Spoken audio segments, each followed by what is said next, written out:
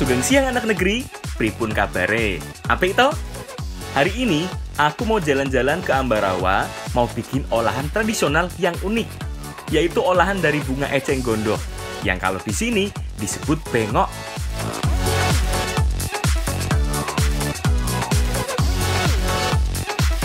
Yuk kita lanjut buat olahan tradisional dari susu sapi. Yang ini rasanya enak tenan. Anak negeri, ada yang tahu buah pinahong nggak? Nah, kali ini aku mau membuat kudapan dari buah pinahong. Mau tahu resep dan cara buatnya? Tetap di Jejana Negeri. Karena alam memberikan banyak manfaat.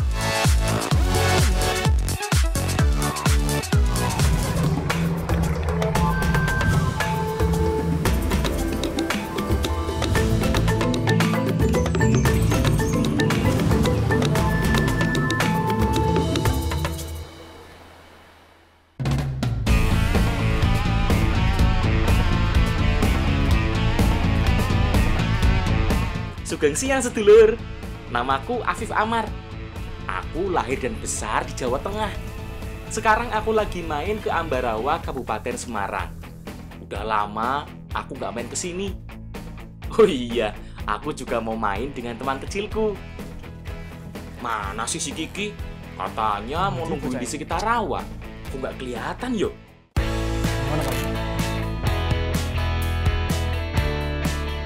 Duh, Afif mana sih? Ditungguin dari tadi nggak datang-datang. Keburu panas nanti cuacanya.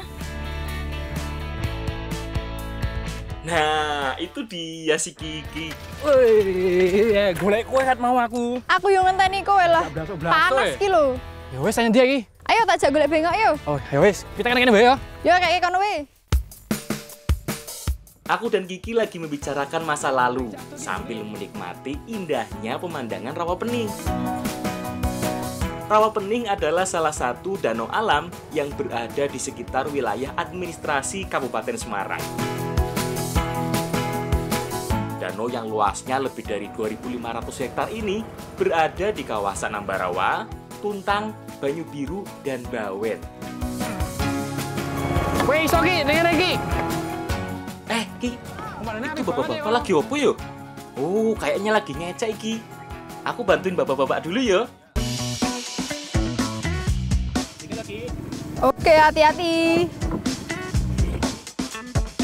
Oh iya, Beb. Kalau gitu aku tinggal dulu ya. Aku mau lanjut cari kembang bengok. Tak tinggal golek ke- kembang bengok saya. Sip, hati-hati yo. Ntar tak bawain wes ikannya. Kalau dapat banyak. Ada berbagai cara masyarakat di sekitar Rawa Pening dalam mencari ikan. Salah satunya Yoiki, ngecek. Sekarang lagi ngebantuin bapak-bapak di sini mau menangkap ikan, yaitu dengan cara ngecek. Nah, caranya itu dengan jaring ngecek ini. Nah, ini kita taruh, mutari tempat yang mau kita tangkap ikan. Ayo, Pak. Ngecek menggunakan bantuan jaring yang sangat panjang. Dari 50 hingga ratusan meter loh, tergantung luas area yang digunakan untuk ngecek. Pertama, pasang dulu jaring yang disiapkan melingkari area sasaran. Nah, lokasi untuk mencari ikan dengan ngecek seperti ini biasanya di area rawa yang cukup dangkal, yang dipenuhi banyak eceng gondok. Karena di akar-akar eceng gondok seperti ini sering jadi sarang ikan untuk bersembunyi.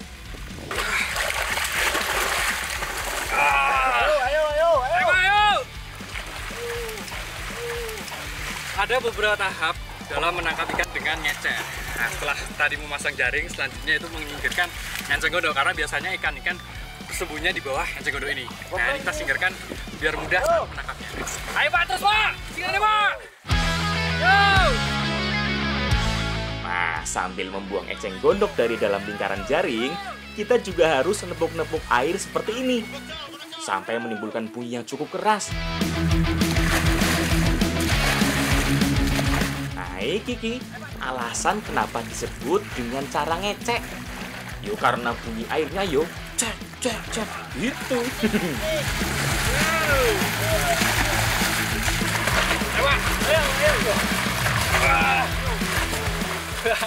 Ternyata susah banget. Ini ada triknya loh, biar terbunyi gini. Nah ini gunanya apa? Menempuh air ini agar ikan itu dia turun dari enceng godoknya. Jadi mudah untuk ditangkapnya. Ayo pak, atas pak!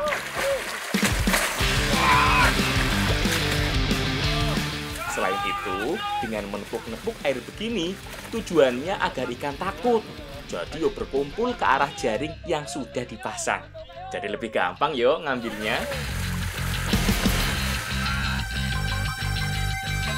Jaring yang dibentang melingkar, semakin lama harus semakin dipersempit areanya. Oh iya, kalau eceng gondok yang berada di tengah kepungan jaring mulai habis, biasanya warga setempat juga mengambil ikan dengan tangan kosong. Istilahnya go-go. Karena biasanya udah mulai banyak ikan yang terjebak di sekitar jaring. Aku yo jelas nggak mau kalah.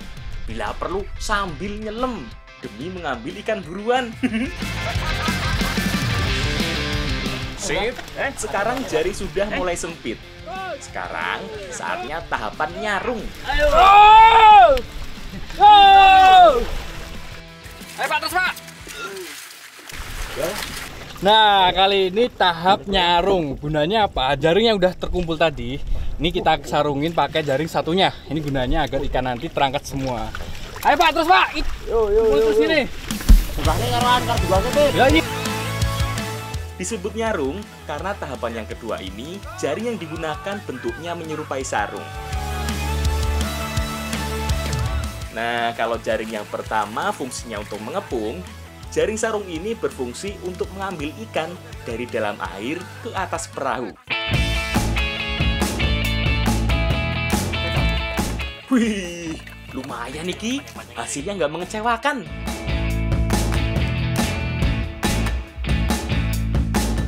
Wah, itu apa aja Pak? Iwak nila. Ini gede-gede banget ya Pak. Inilah iwak Ini derijo. iwak derijo? Eh, Ini belida. Sebenarnya menangkap ikan dengan cara ngece ini, ikan yang tertangkap itu beragam. Ada ikan gabus, ada ikan nila ya Pak ya? Ya. Dan ini ikan yang kita cari, itu khasnya dari rawa pening. Gede-gede Pak ya? Jadi lumayan. Yang mulai Pak ya Pak? Ya. Nah, ini nih yang kita cari-cari, ikan wader hijau. Biarpun ukurannya tidak terlalu besar, tapi ikan yang berwarna abu-abu hijauan ini jadi primadona loh buat warga sekitar. Duh, si Kiki mana yo? Ikannya udah dapat banyak iki. Loh, dianya malah ngilang entah ke mana. Sabar ya, Pip. Aku lagi nyari bunga bengok alias bunga eceng gondok. Sekarang lagi nggak terlalu banyak bunganya, makanya aku ke sini. Kembang bengok ini akan kita masak dengan ikan wader hijau hasil ngecek tadi. Nah, ini nih yang kita cari. Ini namanya tanaman bengok. Ini yang kita ambil cuman bunganya aja karena daun sama batangnya beracun. Ini nanti kita masak sama wader hijaunya. Sebenarnya nggak beracun yo, tapi sifat dari batang dan akar eceng gondok yang bisa menyerap polutan dari dalam air. Ya kalau kadar airnya jelek, bukan tidak mungkin mengandung zat yang tidak baik untuk tubuh. Beda cerita kalau bunganya, sudah pasti aman dan nikmat ki. Makane, boleh sing akeh yo.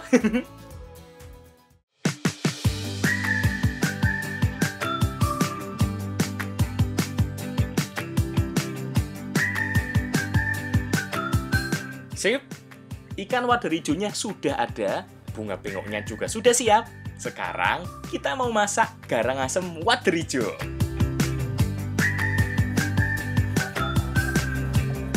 Aku tak bersihin ikan wader hijaunya dulu yo, biar Kiki dan Ibu yang ngurus bahan lainnya.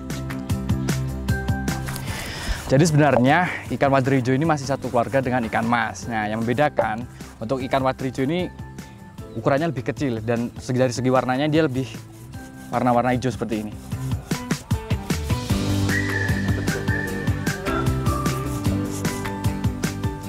Ikan wader hijau ini termasuk jenis wader yang bisa tumbuh agak besar dibanding dengan wader jenis lainnya. Panjangnya bisa sampai setelah tangan orang dewasa. Dulu, populasi wader ijo cukup banyak di sini. Tapi sekarang Oh, ikan endemik rawa pening ini sulit dicari. Salah satu penyebabnya adalah berkembangnya ikan predator liar seneng di perairan rawa pening. Kalau tugasku, yo jelas bersihin bunga bengok ini. Bunga yang berwarna ungu ini termasuk bunga majemuk. Oh iya, karena identik dengan tanaman air, si cantik ungu ini tidak tahan dengan matahari yo. Saat pagi dia akan mekar dan segera layu saat sore hari. Nah, bunga bengok ini rasanya itu cenderung tawar dan belum banyak orang yang tahu kalau ini tuh bisa dimasak. Salah satunya bisa dimasak buat garang asem. Pep, kue doyan ra, Pep? Wah, santai nih yo. Manfaatnya oke toh? Jelas akeh. Garang asem adalah salah satu makanan khas Jawa Tengah. Makanan yang berkembang di pesisir Jawa Tengah ini biasanya menggunakan bumbu pedas dan asam yang masih seger. Semua bumbu seperti bawang merah, bawang putih, cabai, serai, salam, dan tomat cukup diiris lebih dulu yo. Oh iya, selain bumbu iris, ada juga santan kelapa. Nah, santan ini juga harus dalam keadaan segar. Semua bumbu dan santan diaduk jadi satu. Terus tambahkan gula dan garam secukupnya. Tahap berikutnya adalah membungkus ikan, kuah santan dan bumbu iris, serta bunga bengok dengan daun pisang. Awas, hati-hati. Gak sembarang orang loh bisa membungkusnya. Soalnya, kuah santannya jangan sampai bocor yo.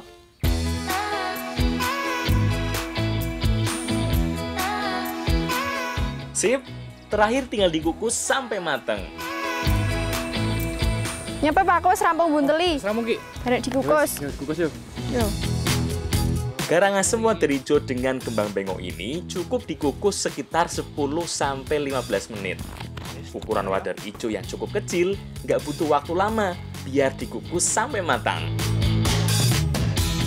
Oh iya, ciri-ciri makanan yang dikukus dengan dibungkus daun pisang ini kalau sudah mateng biasanya sudah tidak ada uap air yang menempel pada daun pisangnya. Sip, wis mateng iki. Garang asem wader hijau kembang bengok siap disantap.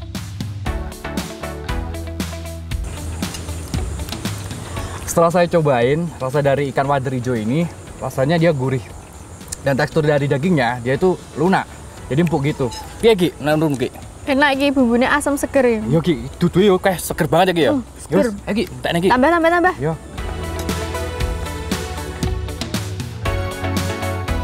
Hmm, karena bumbu dan semua bahan dimasak dalam keadaan seger, rasanya yo jelas seger banget iki. Belum lagi tambahan bunga bengoknya ini. Yo. Ternyata efektif untuk menyerap rasa amis dari ikannya. Jadi makin gandem yo.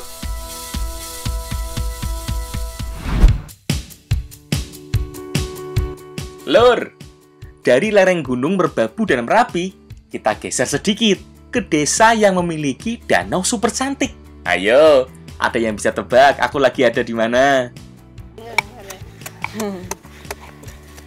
Sekarang kita lagi berada di pinggiran waduk Wadas Lintang ya Bu ya. Iya. Ini suasananya seger banget ya Bu. Iya, semriwing. Nah ini juga lagi ngupas kelapa muda. Kira-kira mau jadi apa ya Bu? Apa kira-kira mau Yuk jadi apa ya? penasaran ya Bu ini Bu. Makanya boleh bantu. Wes tak kupas sih Bu ya. Ya. Neng ngupas hati-hati ya Mas ya. Siap Bu. Wes, nanti aku ceritain keistimewaan desaku Mejing. Sekarang, aku mau motong-motong kelapa muda ini dulu. Katanya sih, mau dijadikan campuran makanan yang enak. Eh, tapi minum air kelapanya dulu ah. Sayang kalau tumpah-tumpah. Ih, kok dirimi terus ya, Mas? Iki lho. Sumpah gede kok Mbak. Dewe, ya. Eh, jangan minum air kelapa terus, Thomas. Gak kelar-kelar nanti ngupas kelapanya. Ini loh, aku sama ibu-ibu lagi siapin bahan lainnya. Bagianku yo ini, ngupas ubi rambatnya. Nah, jadi sebenarnya ini adalah bahan utamanya. Mau diolah menjadi biji salak atau Kecol. kecol. Kilo Mas, meh digawe Kecol. kecol. Ini apa toh Bu? Aku Kecol ngerti kok. Kaya karo salak. Mesti enak ya Bu ya. Enak lah. Lah, lanjut Bu. Walah, jadi gecol toh. Tahu aku. Gecol atau biji salak adalah makanan yang terbuat dari ubi sebagai bahan bakunya. Dibentuk bulat-bulat, kemudian dihidangkan dengan santan manis. Bener toh?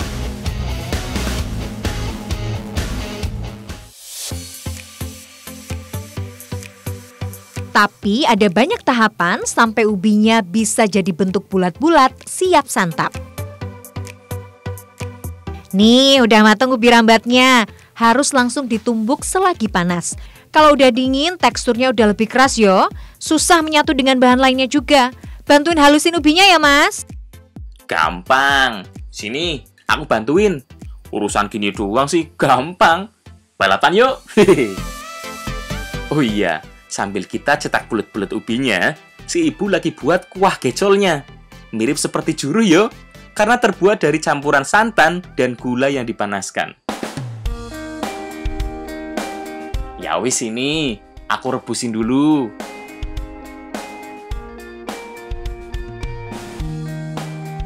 Sekarang ini tahap merebus hasil ulenan dari ketela ya. Nah, ini kalau udah matang biasanya bakal ngambang sendiri seperti ini. Iya. Nah, ini. Ini sebagian udah matang kan tuh, Bu? Sudah ini. ini udah matang. Monggo, Bu. Tak tambahin, Bu. Oh. Jadi hampir sama seperti masak klepon yo. Langsung angkat tuh gecol yang sudah mengapung alias sudah mateng. Sip, langsung kita hidangkan saja. Tinggal campurkan gecol yang sudah matang dan juruh ke dalam kelapa mudanya. Pie, bagus toh hasil inovasiku sama ibu-ibu ini. Hehehe. Ya wes, percaya aku Saiki. Apalagi bukan cuma tampilannya yang cakep, rasanya juga enak banget. Hmm, rasa dari si degan gecol ini rasanya dia manis, gurih, dan ini ada lembut-lembutnya. Tapi ini nih yang bikin seger. Kuah dari santannya ini, Mbak ya. Hmm. Nah, ditambah iki loh Mas tegane sekalian. Wah. Tambah gurih. Iki yo tegane iki yo. Jos banget loh. Mantap yo. Ayo, Mam. Hmm, dimakan dengan degannya langsung, rasanya jadi lebih nikmat. Karena alam memberikan banyak manfaat.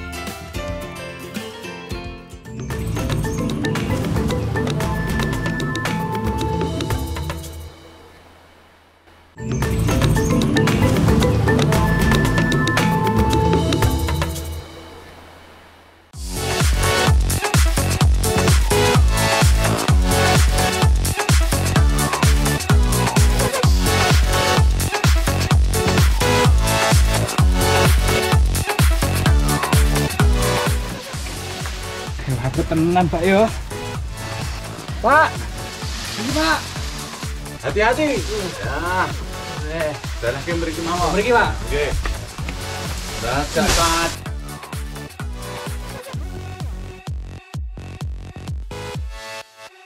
Belum sah rasanya kalau ke Boyolali belum rasain susu dari sapinya langsung ya, Pak ya. Memang betul. Wah, lebih seger sih, Pak ini, Pak. Wis apa? Ntar habis semua susunya aku minum. Hehe. Aku ke sini kan mau minta susu seger khas Boyolali.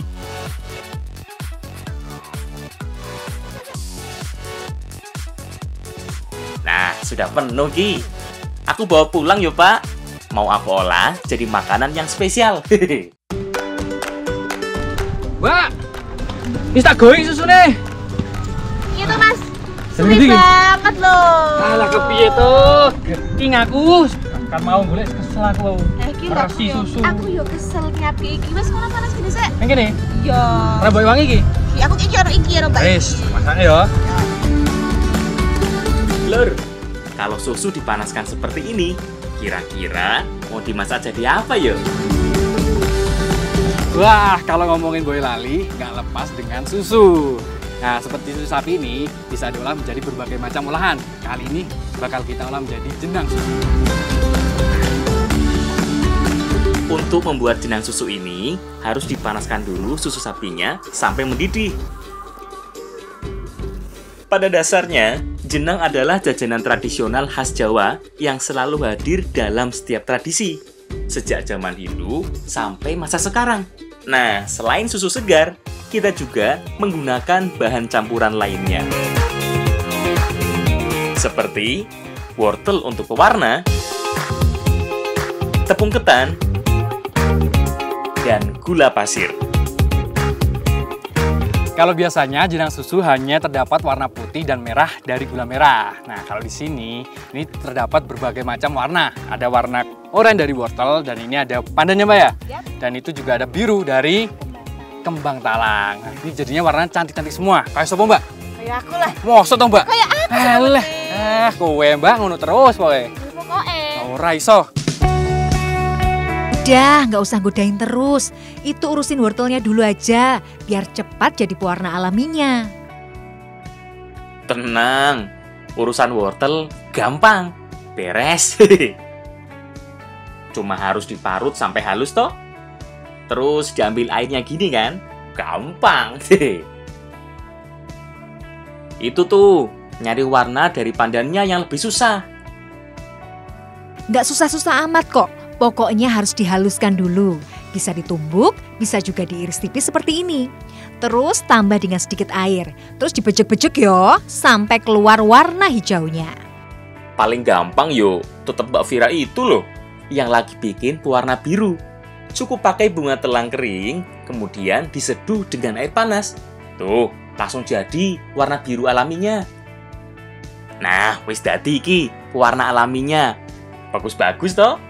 Hmm, paling bagus yo, tetep warna buatanku. Beres! Bahan lainnya seperti tepung ketan, tepung beras, dan gula pasir dicampur jadi satu. Sampai benar-benar rata.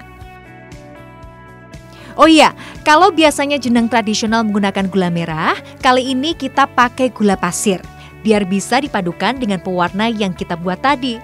Soal rasa, tetap enak kok.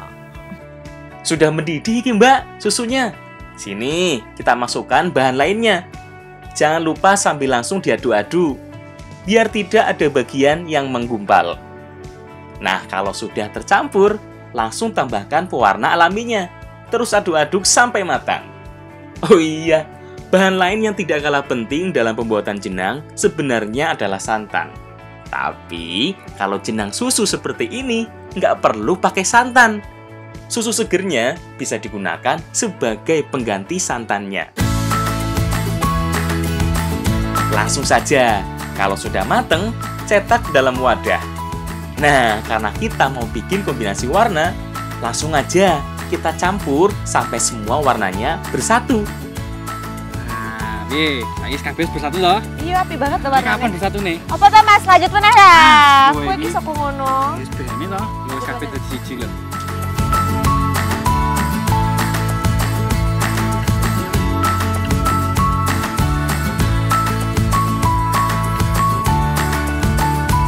Nah, iki ki, jenang susu yang manis lembut siap kita nikmati.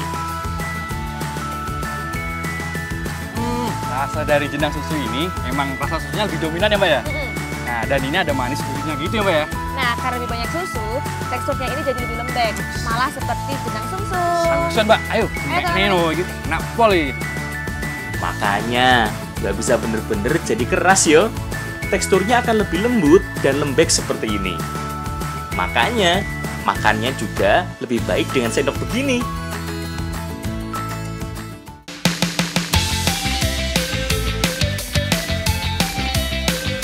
Bikin jenang susu sudah. Kira-kira susu sapi ini bisa kita olah jadi apa lagi yo? Masih berurusan dengan susu. Nah, kali ini bakal kita olah dengan beras ketan. Hmm, kira-kira mau jadi apa ya? Mbak, iki aku boleh nopo nih toh? Ah, rahasia. Ngana tuh aja, Mas. Duh, piye ta iki?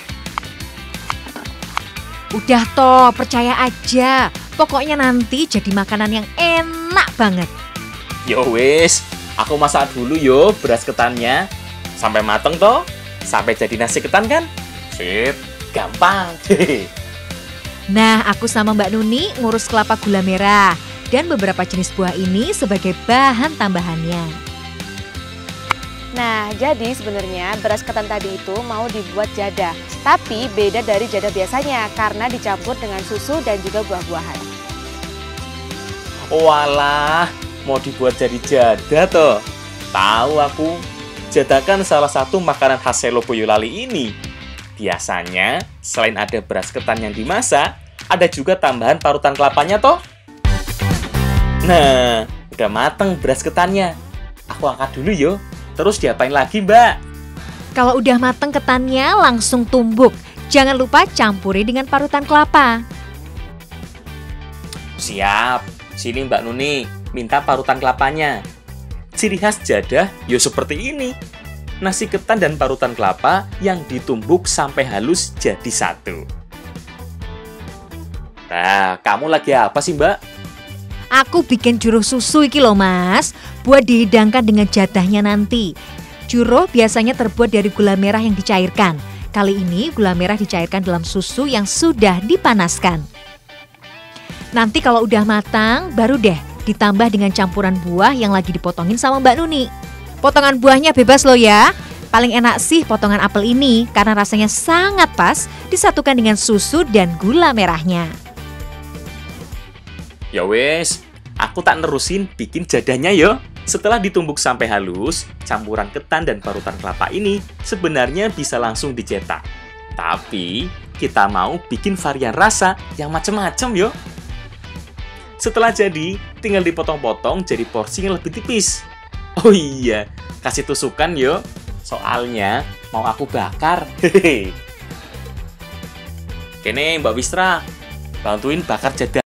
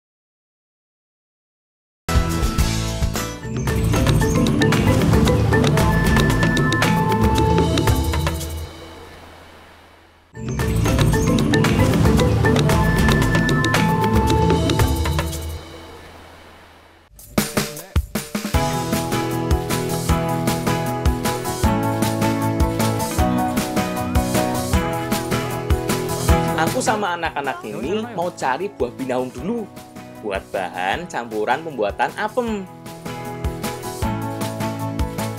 Kamu langsung wae ke Ibu Sol. Oh, iki toh. Siap. Yuk, Cah, cari buah binaungnya.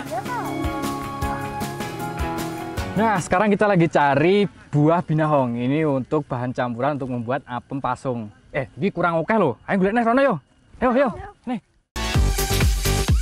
Binaung merupakan tanaman merambat yang Iya, sering ditanam di pekarangan rumah. Nggak heran ya lur, lawang tanaman ini termasuk sebagai tanaman obat. Selain bisa diolah, ternyata buah binahong ini juga bisa dimanfaatkan untuk mengobati luka luar. Nah, ini kebetulan habis main. Lecet. Tak obatannya yo. Selain buahnya, daunnya juga bisa loh digunakan sebagai obat karena bisa sebagai antibakteri, antioksidan, dan antiinflamasi. Wis akeh kicah. Yuk, go balik. Nyoki, buah binaungnya dapat banyak toh? Tuh, apa niku mas? Oh, Mbak. Buah binahongnya. Terus ya mas? Iya, Pak. Siap. Sekalian tak panasin yo airnya. Tanaman binahong ini selain bisa dibuat jamu, bisa juga dibuat warna makanan karena warnanya sangat pekat. Makanya tak cariin yang banyak kui, biar makin mantep warnane. Nggak susah kok, cukup dipenyet-penyet gitu aja, udah keluar semua warnanya. Nah, bahan pewarna dari binaung ini bisa langsung ditambahkan ke dalam adonan yang sudah mengembang. Untuk apem pasung ini ada beberapa warna yo. Ada yang merah, kuning, hijau, dan original. Setelah adonan jadi, tinggal dimasukkan dalam cetakan kerucut dari daun pisang. Oh iya, selain buat warna, buah binaungnya juga bisa loh buat tambahan topping di atasnya. Mas, ki, bisa wis mateng ki. Sip. Nek wis, kene, ndang dikukus. Oh iya, masak apem ini cukup lama yo. Minimal butuh waktu setengah jam sampai benar-benar matang dan mengembang. Wow. Setelah itu, baru deh apem pasung siap dihidangkan. Sip, yuk kita icipi dulu sebelum dibawa ke acara susu wangan. Jadi apem pasung ini merupakan jajanan khas dari Jawa dan biasanya apem pasung ini jajanan yang wajib ada di acara susuk wangan. Untuk rasanya dia manis dan lembut. Sebenarnya, di beberapa tempat apem berbentuk kerucut ini identik dengan acara kematian masyarakat Jawa. Tapi di daerah lain biasanya ada juga yo pada tradisi ruahan sebelum Ramadan.